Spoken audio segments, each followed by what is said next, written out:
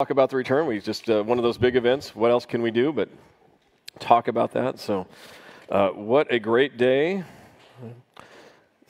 Praise the Lord. I'm uh, operating entirely in the power of the Spirit, as I said first service, because I don't know about you, but I started about 4:30 yesterday morning, and it went along and along. In fact, you, you saw the video of the oh, that fast fast-paced video at the beginning of the of the, uh, you know the car driving down in the parking lot area. I felt like that was me all day long. Like I've got no time for anything. But praise God, it was a great event. I am so thrilled to have been a part of it and can't wait to do it again. But uh, so anyway, so I am uh, starting a new series, or the whole pastor team is starting a new series this morning called "Finding Jesus in the Feasts of Israel." And so we're going to take a look at that. And this is just an introduction. We're going to have a lesson or a teaching in the coming Sunday mornings on each of the seven feasts. Now, I don't know what your familiarity level is. Maybe this is all new material to you, or maybe you're very aware of the fact that there are these seven feasts that God had given to Moses in Israel. But we're going to talk about it what they are, but also talk about it in terms of why were they given and is Jesus the actual fulfillment of those feasts? We're going to take a look at that and claim that he is from the scriptures themselves. But they, we have this, we could actually put in that title, Finding Jesus, and then fill in the blank. Because from cover to cover, Genesis to Revelation, the Bible is about Jesus Christ. He's the topic, He's the subject. Every detail that is in there is there because it's representing who Jesus Christ is. And so God calls us as believers to know His Word, to study His Word, to find ourselves and show ourselves approved in the understanding of His Word. And He's going to tell us that it's all about Him. We'll see that in a moment. But not in your notes. I added it last second here and this morning, but Romans 15:4 kind of sets the topic for this. And that is to say that it says in Romans 15:4, Paul says, "For whatever things were written before were written for our learning, that we through the patience and comfort of the scriptures might have hope." When Paul wrote that, for the most part, the only scriptures that were available were the books of the Old Testament. We call them the 39 books of the Old Testament. And Paul is saying that whatever was written was written for our learning so that we would understand how to receive from it patience and comfort. And so that gives us the charter to go back and look at things in the Old Testament and understand it as New Testament Christian believers. And as we look at the feast in our studies coming up here in the next eight weeks, what, there's tension. As uh, I think almost every theological discussion, every topic of Bible has this tension in it of people going to one extreme or the other and not understanding what the Lord actually wants from our study and our understanding of things. In this particular case, you get some tension because some people start reading the Old Testament, the law of Moses, they see things like the feasts, and they feel like they felt compelled to jump in with both feet and say, well, if God called Israel to do it, I'm going to do it legalistically as well. I'm going to adopt it as a requirement that God has for me in my life. Okay? And then you got on the other side, you got people who go, well, that's all Old Testament stuff. I don't even need the Old Testament. Every, everything I need to know about Jesus Christ is in the New Testament, so why would I even care about feasts of Israel or any of the Old Testament? And so you get this kind of tension I'm free, I don't need the law. And you got, I'm totally committed. And uh, yes, I'm a believer in Jesus Christ, but I need to observe and obey all of these 613 commandments in the Old Testament. And we get this tension. And I think in most cases, you'll always find that the reality is neither the extreme, but in the proper understanding of God's Word. Okay. And so we are going to look at our Feast of Israel today. As I said, this is going to be introduction. So if, if, you're, if, if we go too fast over one particular feast, don't worry, we're coming back to it in the weeks to come. But I wanted, wanted to give you kind of a big overview because the, the Feast of Israel establish a calendar for the nation that is really part of their whole existence.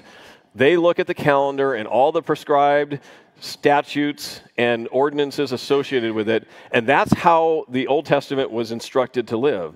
And so you'll know and understand that when something big comes along, like, the, like Passover or like the Day of Atonement, which is actually tonight, uh, starts tonight on the Jewish calendar, and tomorrow uh, is the actual date. These big events, they kind of pop off even if we're not even paying attention. These big events begin to pop off at us because for thousands of years, the, the nation of Israel has been celebrating these as prescribed in the Old Testament. But we're going to put an overview on that, just kind of talk about them and just show you that, first off, they're clustered in a group of three. So, there's seven feasts. They're, we call them the Feast of Israel, Feast of Moses, but there are three, what's referred to as holy convocations. Okay? And those, whole, those convocations is a way of saying, the way God calls them to say, I want every person who is able physically to do it to leave their house and come to the place of worship established wherever God it was. Now, that may sound like a little, what do you mean, wherever God was? Well, if you think about the book of Exodus and the fact that God had instructed them to build a tabernacle, and He said, I will dwell in the midst of that tabernacle. He said, wherever that, and that tabernacle was portable. Okay, so if you read the book, last 15 chapters of the book of Exodus, they had poles and they had priests assigned to carry everything. And so wherever that tabernacle went, they set it up and established it, and suddenly that's the place where everybody's supposed to celebrate uh, the, these communions or these feasts, okay, or these convocations. Eventually, when Solomon builds the temple, it was pretty well established for, from that point forward that all of that would take place in Jerusalem. But wherever God's presence was, were where they needed to go. And it was three times a year, every able bodied male or person needed to go into that place and then celebrate these. So there's three holy convocations. It always talks about as being no customary work to be done. It's like an additional Sabbath, and they were to come and completely dedicate their lives to the Lord. So I want you to think about that just in your own reality. If you were called three times a year to travel from your home city and go somewhere and then and then spend time there, this is what Israel has been doing for thousands of years. And, and, so that's what, as is prescribed in the Lord. But as I said, there's three of these, and they're kind of blocked into chunks. You got three, and we'll call them spring feasts. You got one that kind of stands alone. It's right at the end of spring. It's kind of a, a middle one. And then you've got three more in the fall. Okay, so seven feasts total, grouped into three spring, late one in late spring, and three at the latter part of fall. The springtime observances were an early grain harvest. And so it was important that a follower of Jesus, or sorry, a follower in the Old Testament of God would take when, when soon as the crop started to produce okay you're coming out of winter you get into early spring and suddenly you have some early grains that start to show that life is, is coming back and you're going to have the ability to survive another season in this culture in this economy but God wanted every person to take from the first, very first part of that, and take it, that grain that first came, and make a dedication to the Lord as a way of showing that we trust and believe that God will provide for the rest of the season. God did not say, and the practice was not, well, get through the season and then save 10% as you go, and then give that as an offering at the end of the season, whatever you have left over. It was always beginning of the season and then offer that in trust, in confidence that the Lord would continue to provide for you and your families through your uh, agriculture. Okay. And so all, it was always associated with that first part of that, that first grain that was coming, the early spring grain that would come.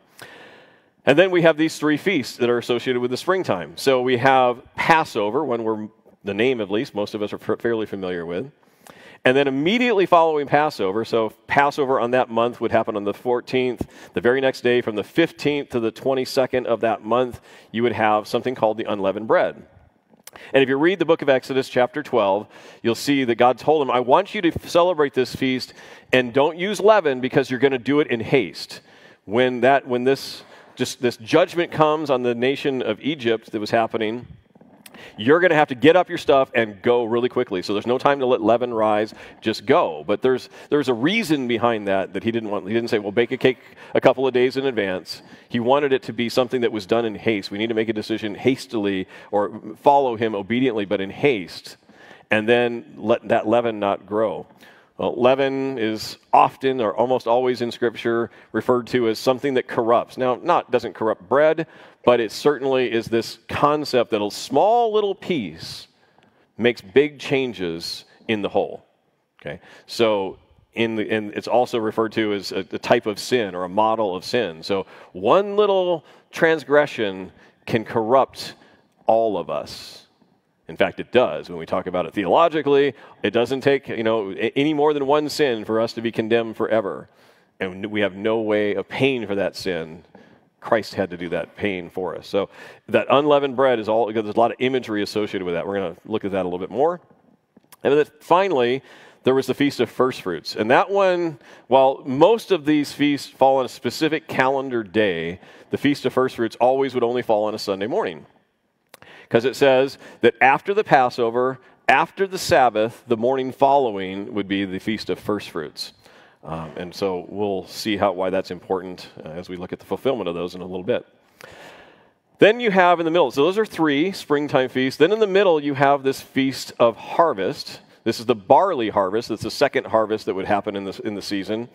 And it's also referred to as the Feast of Weeks and the Feast of Pentecost in the New Testament.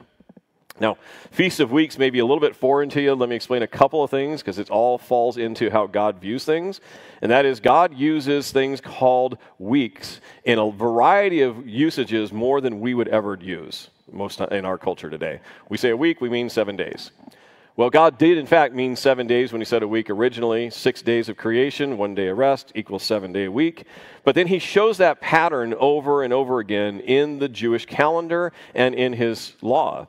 So, what He did was He had, as you know, there's six days of rest, one day of work, but then He put it into a, a collapsed it into a week of weeks which means seven weeks a period of time. And so that, that period would go from the feast of first fruits. 50 days later, so the next Sunday morning, 50 days later, would be this Feast of Pentecost or Feast of Harvest. It was tied to the agrarian calendar, meaning he knew exactly how long it would take from the grain offering to get to a barley offering 50 days.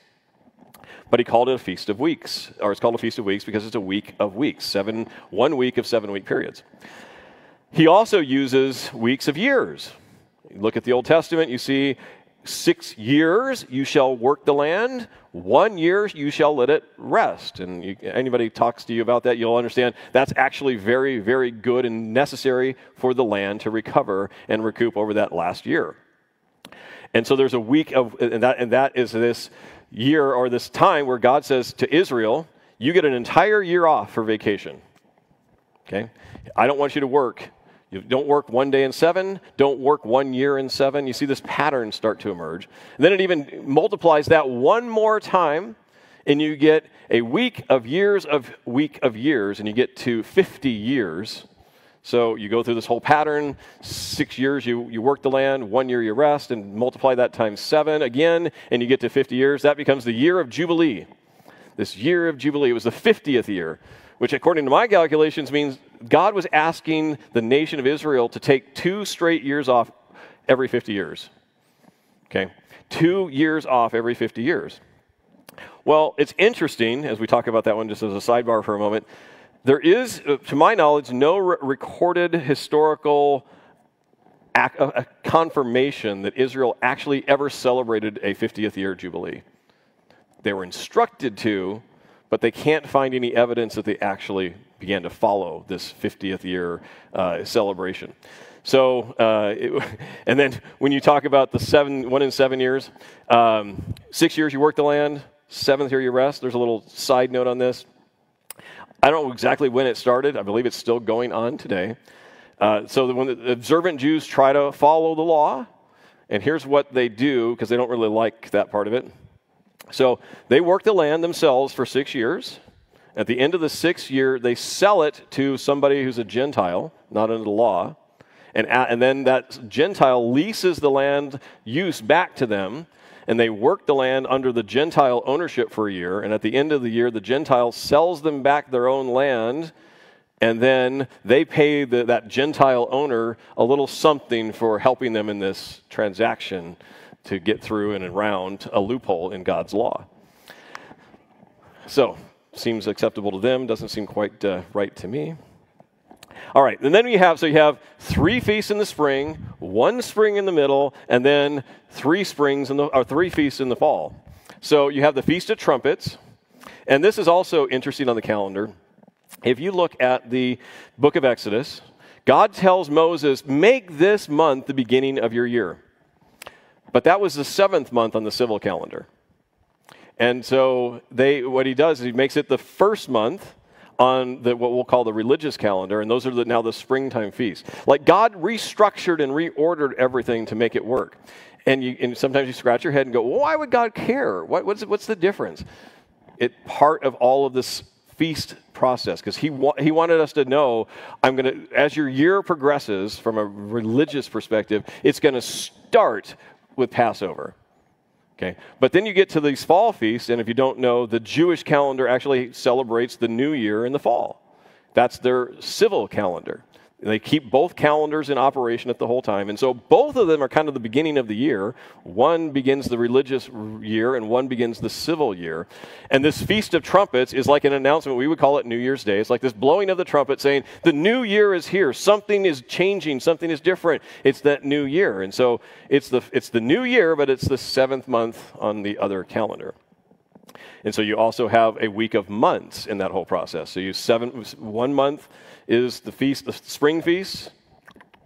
Get to seven months, and then you get the last month of that seven year or that week of months, and you get to what this, these fall feasts that are happening here, in the, like, beginning with the Feast of Trumpets. So we call that Rosh Hashanah. It simply means the head of the year, Rosh Hashanah.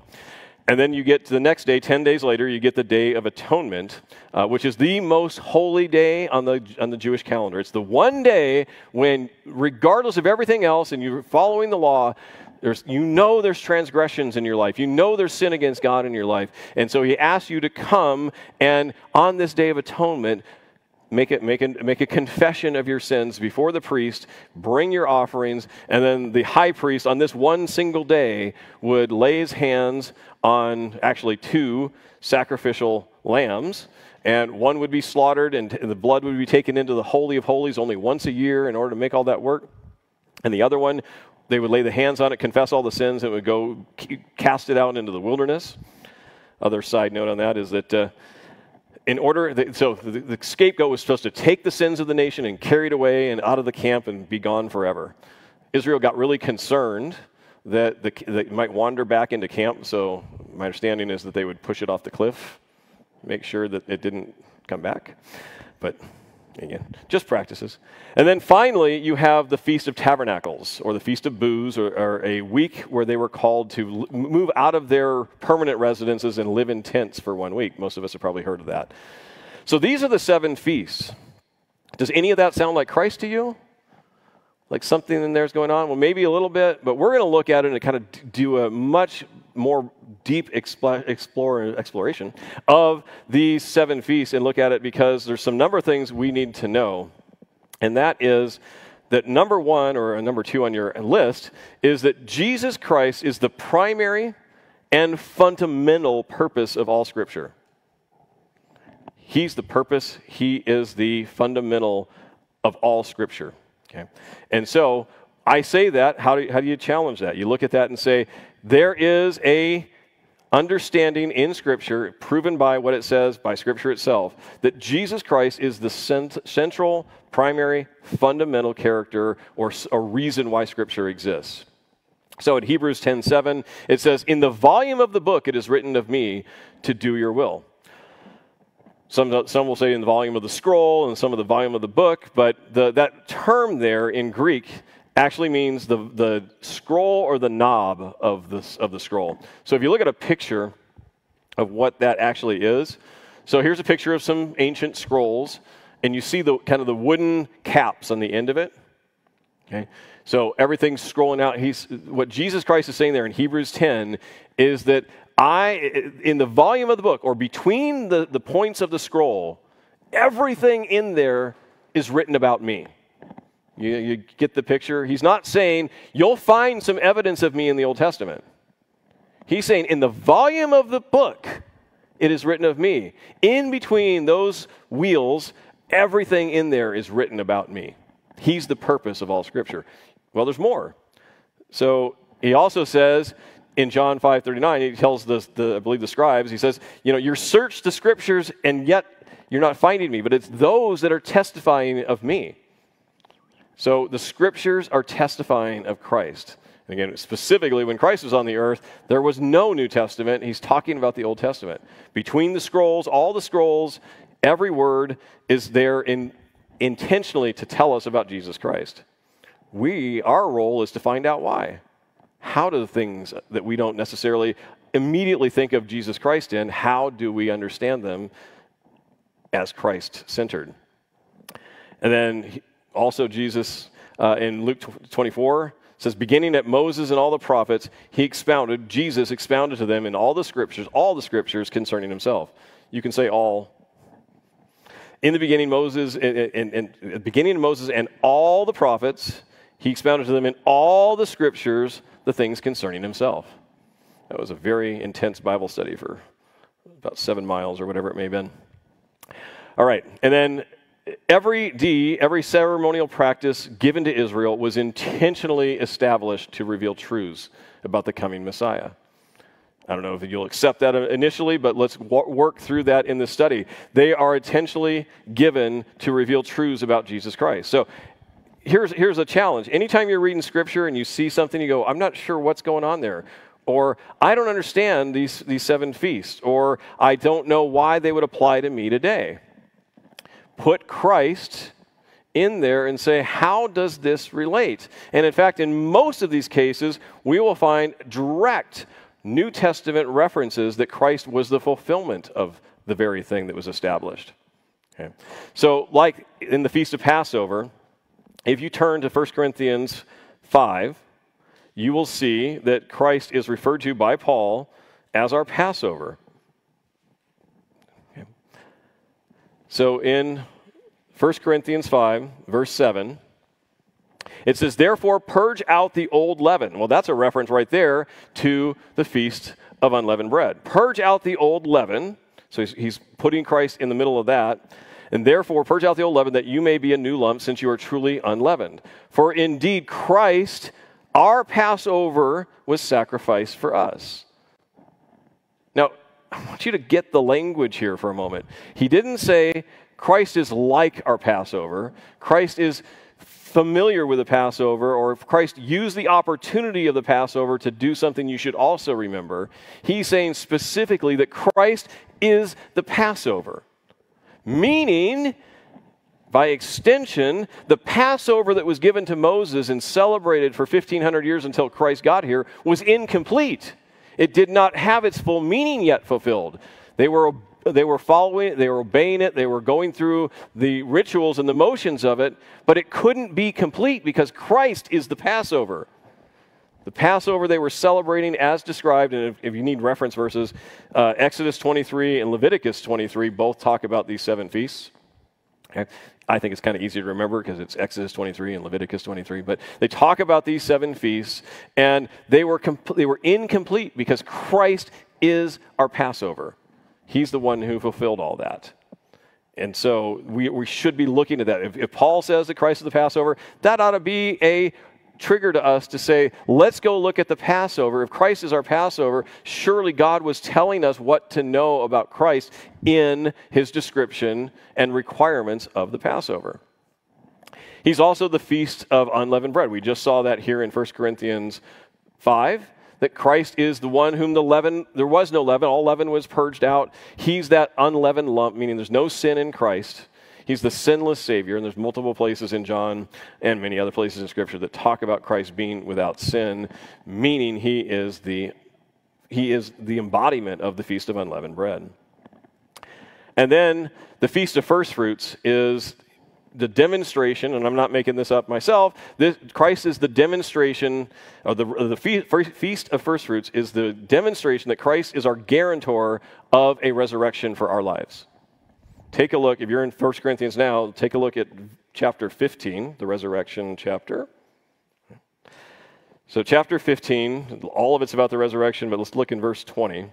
It says this But now Christ is risen from the dead and has become the firstfruits, not a firstfruit, has become the first fruits of those who have fallen asleep. Since by man came death, by man also the resurrection of the dead. For as in Adam all die, so in Christ all shall be made alive. But each one in his own order Christ the firstfruits, and afterward those who are Christ at his coming. Do you see what he's trying to communicate to us there? Is that Christ going to the cross, but on the, on the day, on the Feast of Firstfruits, Sunday morning, Christ is raised from the dead. And that is the guarantee that we also, if we put our faith in Jesus Christ, will also be raised from the dead. We will be raised in eternity with Him. He's the guarantee. The whole Feast of First Fruits is to say that Christ is the first one ever to be raised from the dead, to ascend into heaven. But that is the promise, that is the guarantee that we also, like Him, will be. Remember, I said at the beginning, they were supposed to take of that harvest the very beginning of it, the very first of it, and say, that's God's. That very first grain offering comes, it's God's. Everything else is for the blessing of man. But the first part is God's. Well, that exactly fulfills what's happening here in the Feast of First Fruits. Christ was God's offering and Christ was God's guarantee that all who follow will be resurrected. That's exactly what Paul has just said here in 1 Corinthians 15. He is the guarantee that we will be resurrected also. So, Passover, Feast of Unleavened Bread, Feast of First Fruits, they're all made references to in the New Testament. And not just, again, not just, well, similar to, like as, but Christ is the fulfillment of them. And they were always incomplete until Christ came and demonstrated they were written about him so that he would fulfill them. They were only models or types or examples until he came.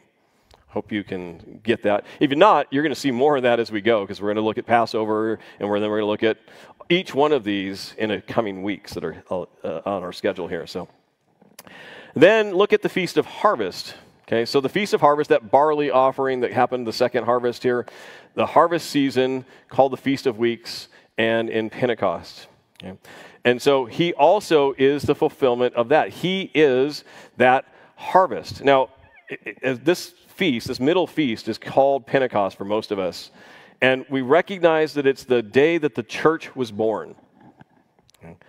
So it's really symbolically very significant that we have these first three feasts. Jesus Christ fulfilled each one of them. He actually fulfilled them each on their day that they were observed and on the Jewish calendar. And then we have the church being born on Pentecost in the middle of that. Wonder what that represents. Well, let's, let's talk about that in just a second because when we get to the next set of feasts, like the Feast of Trumpets, there's this starting. Remember, we had this new calendar, and these, these, these feasts and celebrations over here were at the beginning of the new year, the beginning of that, that's, that's ceremonial year. And then you get to the next one, and this is the beginning of something brand new again. That seventh month was the beginning of something new, and they would blow a trumpet and it would start something new. So, trumpet being blown, well, that's fairly significant. You take a look at Second Corinthians, move over one book or however you do it digitally. Second Corinthians 5 16. Okay. Therefore, we, we regard no one, or therefore, from now on, we regard no one according to the flesh, even though we have known Christ according to the flesh. Yet we are now known in him that thus. Wow, I'm you can tell I'm tired. Okay, sorry. You, yet uh, now we know him thus no longer. Therefore, if anyone is in Christ, he is a new creation. Old things have passed away. Behold, all things have become new. And then it's later tied to the blowing of a trumpet. It's like the, the blowing of that first trumpet. So there's this beginning of the year, the head of the year, head of something new. And there's this tie to Jesus Christ being creating in us a new creation as part of that trumpet blowing. But not just a new creation on this planet, it's really talking about a resurrection life, moving towards a resurrection life.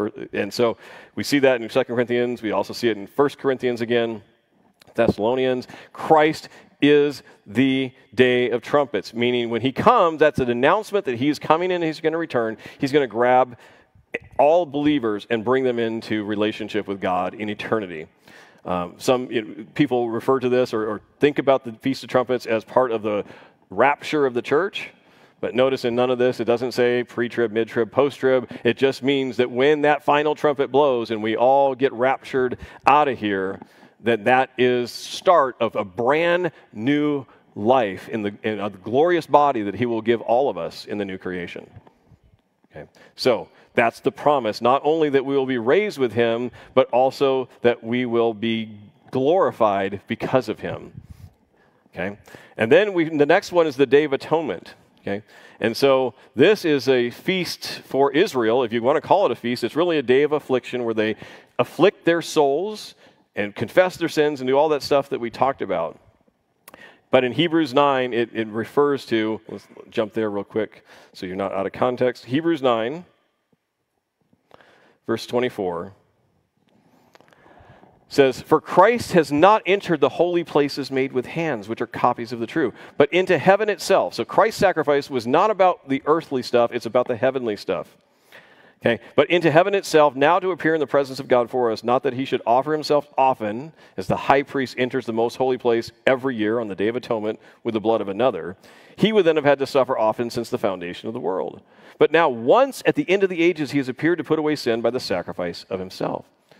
So he is that he is that he's moving forward the day of atonement he's accomplished that he's gone into heaven and when we stand before the throne of God, there is this incredible exchange that happens. Christ's righteousness becomes my righteousness. My sinfulness was borne by Christ on the cross and paid for by Him. This incredible exchange that takes place. Okay? And then, finally, a Feast of Tabernacles.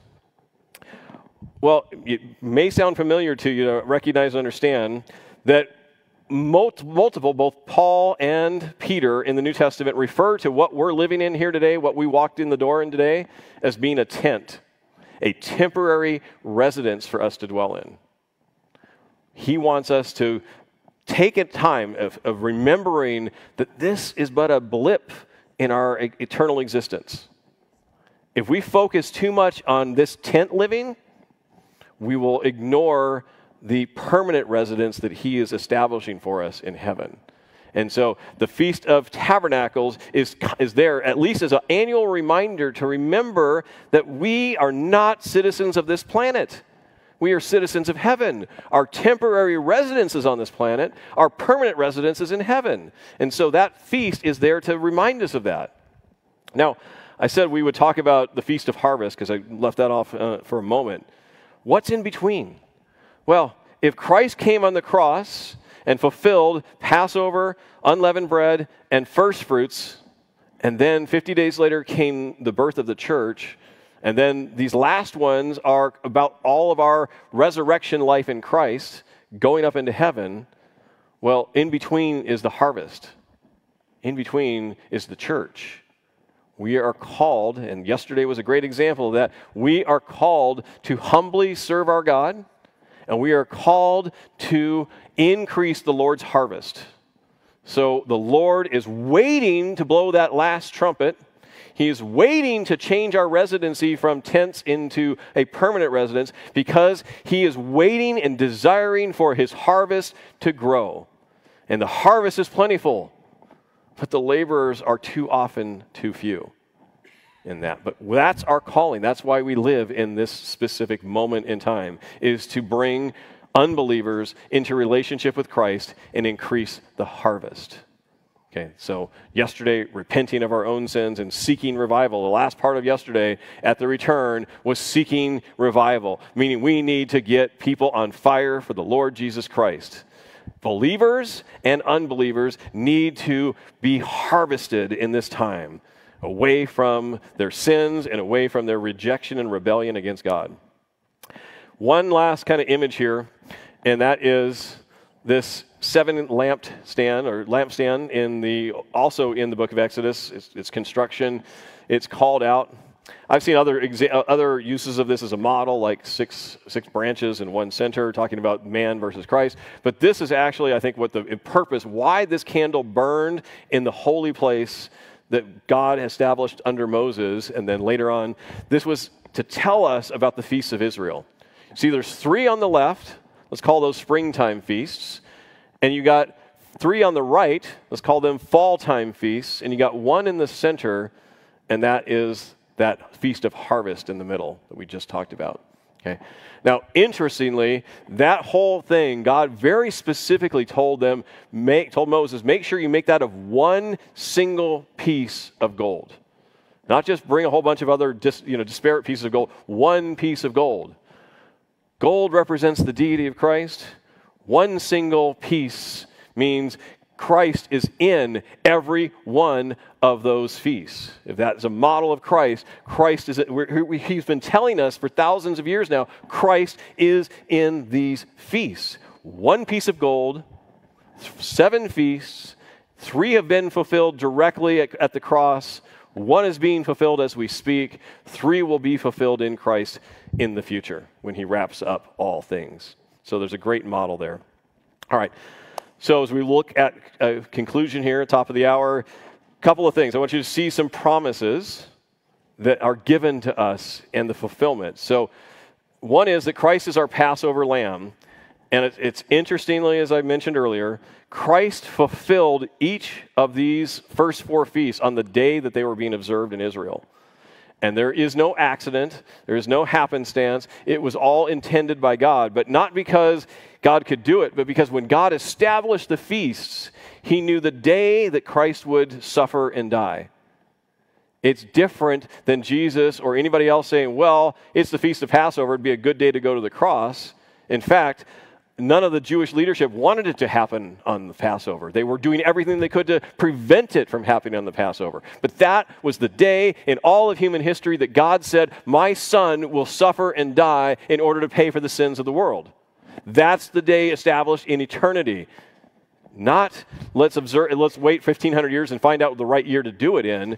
It was established from eternity. In fact, there's a prophecy in Daniel that gives a specific day 500 years before Christ was born, the specific day on which that would be fulfilled. And it was fulfilled on that day. Passover, of course, so fulfilled. Feast of unleavened bread picks up as we see in Paul's writings in the New Testament, Christ fulfilled that also in the cross on Christ, uh, uh cross of Christ 2,000 years ago. And then, as we saw 50 days later, the Feast of Pentecost, Acts chapter 2, we see it literally fulfilled. The church is literally born to engage in the harvest of souls on the day it was prophesied and commanded for Moses 1,500 years before Christ. Okay? All fulfilled, which of course leads many to believe that anytime we're talking about the return of Christ, that there's probably going to be a literal calendar fulfillment on the specific day of the Feast of Trumpets and the Feast, uh, or the Feast, if you want to call it that, the Day of Atonement, and then Feast of the Booths or Tabernacles. All of that will be fulfilled on their literal day. Of course, we don't know if we're on the right calendar or not. How many times have we changed our calendar? In the last 500 years or, or 2,000 years or whatever it may be. But literal fulfillment on those days is a very strong possibility based on the fact that the first four were literally fulfilled on their observance days as well. Okay. So those are coming. How do we finish this? How do we look at this? Okay, I, I, I don't want anything to be just an academic exercise or just okay well that still i'm wrapped up in this is all old testament what do i what am i supposed to do with it let's talk about how we can honor God today. And then you'll hopefully see that again each week as we study each of the seven feasts. Understand, remember, and honor and celebrate all that God has done through these feasts. I'm not asking you to celebrate the feast the way they were prescribed to Moses.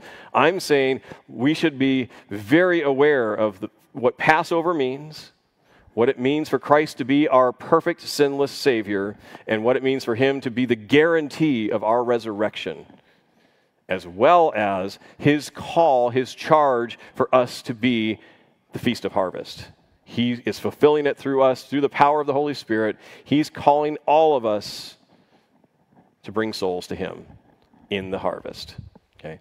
Treasure is the fill in the blank there. Treasure the whole counsel of Scripture, for it is they that testify of Christ. He's asking us don't set certain passages, don't set certain books, don't set the whole Old Testament on the shelf, and don't pay any attention to it. He's saying to us through Scripture, treasure the whole counsel of God. And that means looking at these things in specificity to find out what is what do we have? What does God have for me in looking at these Old Testament passages, references of all of the Old Testament? I, I find it hard to put anything above the feasts of Israel in terms of how significant and important they are to the person of Christ and our understanding of who He is. Really, really significant. And finally, be thankful for God's use of models and types in the scripture. If scripture was just written with a whole bunch of facts, details, stuff that's just like dunk, dunk, dunk, dunk, bullet points and all that kind of stuff, it would be so much different than the actual scriptures we have. Because look at the multifaceted character of God. He wants to communicate to us, yes, directly through narrative but he also wants to communicate it to us through models, through celebrations, through remembrances. He, he knows how forgetful we are. He knows how easy it is to take facts and just compartmentalize them out of our mind. But feasts and observances, something that shows up on our calendar every year, you'll notice all throughout Scripture, God tells everyone, make a memorial. Something significant happens. He says, put up stones, make a memorial something that's significant happens, here, we're going to celebrate this for your rest of your days forever. Passover, Feast of First Fruits, whatever it may be, we're going to celebrate this because you'll forget it if I don't remind you of it every year. That's why God has created a scripture that is so multi layered and so multifaceted because He wants us to know Him as a creator God, as a, as a creative God, a God who does not lock Himself into one method or model of communication. He's got many ways of doing it so that scripture is ultimately inexhaustible we keep reading it over and we keep reading it over and studying it and studying it and studying it, and we come back and something is fresh, anew, again for the very first time. Every single time. I can't tell you how well I know certain books of the Bible and have read them thousands and thousands of times, and I read it again and I get something new each and every time because it's that dense with the truth of God and so dripping with the Holy Spirit teaching us about God. So, with that, exhortation, let's pray. Father God, we are indeed deeply in love with you.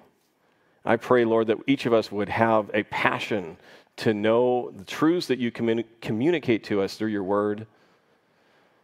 Old Testament, New Testament, narrative, typologies, whatever it may be, Lord, I pray that we would be receptive vessels for all that your Spirit wants to do to guide us and lead us in your perfect truth through the power of your word. And Lord, I pray that we would have a mind like Christ to understand and to know the significance of so many details like these seven feasts in Israel.